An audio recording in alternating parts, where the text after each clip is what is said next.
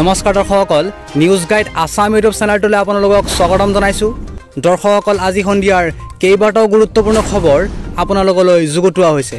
খবৰকেইটা খুবেই গুৰুত্বপূৰ্ণ গতিকে ভিডিঅ'টো অলপো স্কিপ নকৰাকৈ শেষলৈকে চাই যাব। আৰু যদি আপোনালোক আমাৰ চেনেলটো প্ৰথমবাৰ আহিছে নিশ্চয় চেনেলটোক ছাবস্ক্ৰাইব কৰি দিব আৰু বেল আইকনটো প্ৰেছ কৰি ৰাখিব। গতিকে আহকচোন আজি ভিডিঅ'টো আৰম্ভ কৰোঁ।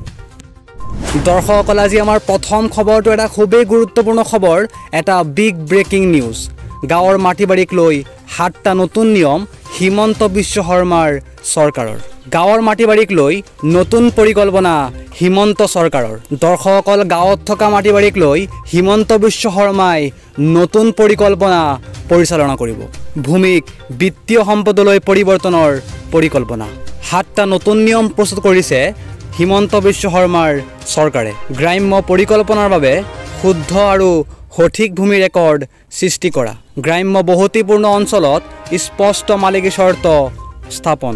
জৰীপ আন্তঃগাঁথনি আৰু জি আই এছ মানচিত্ৰ প্ৰস্তুত কৰা।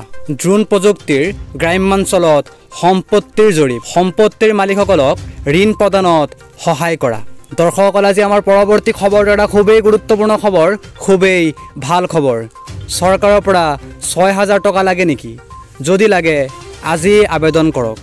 ৰাজ্যৰ কৃষকসকলৰ বাবে জৰুৰী খবৰ। কৃষকে লাভ কৰিব ছয় হাজাৰকৈ টকা। কেনেকৈ পাব এই ছয় হাজাৰ টকা জানো আহক। বৰপেটা ধুবুৰীৰ কৃষকে পোন্ধৰ অক্টোবৰৰ ভিতৰত আবেদন কৰিব লাগিব। পি এম কিষাণ সন্মান নিধিৰ বাবে নতুনকৈ আবেদন বিচাৰিছে কৃষকৰ পৰা। অন্যান্য জিলাসমূহলৈও আবেদনৰ বাবে জাৰি কৰিছে নিৰ্দেশ। কি কি নথি পত্ৰ জমা দিব লাগিব জানি লওক। আধাৰ কাৰ্ড ভোটাৰ কাৰ্ড অথবা পান কাৰ্ড মাটিৰ জমাবন্দী আৰু খাজানা ৰচিদ বেংকৰ পাছবুক আৰু পাছপৰ্ট চাইজৰ ফটো। ক'ত জমা দিব লাগিব এই নথি পত্ৰসমূহ জানি লওক।